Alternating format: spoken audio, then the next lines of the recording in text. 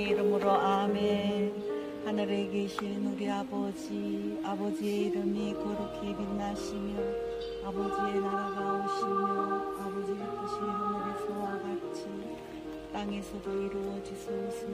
오늘 저에게 영원한 양식을 주시고 우리에게 감사합니다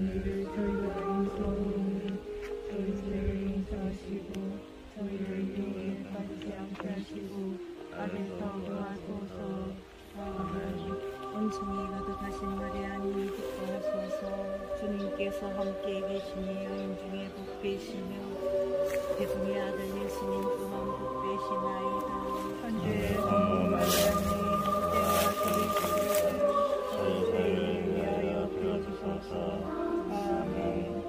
성과 성령께 성과